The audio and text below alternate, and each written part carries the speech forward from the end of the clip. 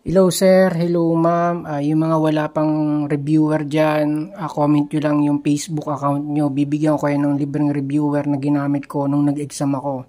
Bali, hindi po talaga ako magaling sa math. Ako po ay unit earner lang. At yun ang binigay sa akin ni PRC. So, yung mga bibibigay kong reviewer, nandun na po yung paraan kung paano isolve at um, sa mga nakapag-take na din, maaalala nyo yun na ganun na ganun yung dating exam. So, comment ko lang yung Facebook account nyo para isend ko ngayon. Ginahat wala akong gawa. At saka, ngayon, naalala ko pala, uh, isa sa mga pinaka-importante, yung cosine. Saan ba yun? Ayan. Dapat alam nyo kung paano mag-solve niyan. Yung so, ka, towa. Dapat alam niyo yan, mga loads, kung paano nakakukuha yan. Sobrang daming ganyang exam. Sobrang daming Uh, siguro mga nasa 15 yung paulit-ulit na ganyan. Hanapin mo yung hypotenuse, hanapin mo yung opposite, hanapin mo yung adjacent, hanapin mo yung yan, katulad dyan, tangent, mga ganyan. Mga ganyan lang naman ang tanungan sa math major natin. So, alam ko, kaya nyo sagutan yan. Ang iniisip nyo lang ay kung ano yung mga topic na posibleng lumabas sa exam ulit. Ito, sure na sure ako lalabas ulit yung mga ganyan topic, yung mga ganyan tanungan. Tapos, natatandaan ko din yung conic section.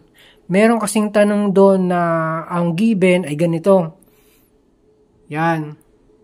Bale, ang isasagot mo ang pagpipilian doon, tinatanong ni PRC kung circle ba siya, ellipse, parabola, o hyperbola. Merong ganyang tanong kasi natatandaan ko yan kasi hindi ko alam yan. Hindi ko alam dati i- malaman kung circle ba yan o ellipse, hyperbola. Basta merong ganong tanong. So, aralin mo yan kung paano yung pagkakaiba-iba niya ng circle, ellipse, parabola, at hyperbola. Pero kung gusto mo ng reviewer, bibigyan ka ng reviewer, send ka lang ng email. Pero hindi pala pwede email, Facebook account para masend ko sa iyo. Pagkatapos, yung negative correlation. Merong ganyan, positive correlation, negative correlation, no correlation. May drawing doon ng PRC. Halimbawa, ganyan, tuldok, tuldok. Sasabihin mo siya kung positive correlation, negative correlation, o no correlation. Ganon mga lods sa mga tanungan sa, sa math major natin. Yung mga baguhan pa lang, yung hindi alam kung anong topic yung re-reviewin. Uh, comment ka lang, bibigyan ka ng libreng reviewer. Uh, pinangako ko yon sa sarili ko na mamimigay ako ng libreng reviewer kapag nakapasa ako.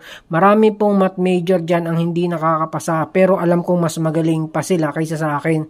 Bakit? Unang-una, mali yung nire-review nila. Malayo yung nire-review nila.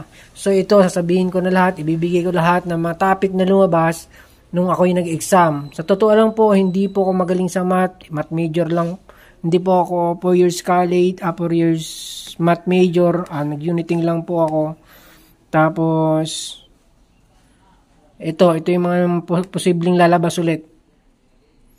Yan, tandaan nyo na yung mga loads. Sana share nyo rin to. Tapos para magkaroon naman ako ng mga subscriber. Yan. Legit na legit yan mga loads. Yung cosine na yan. Daming lumabas na yan. Tsaka itong gamitin yung calculator oh.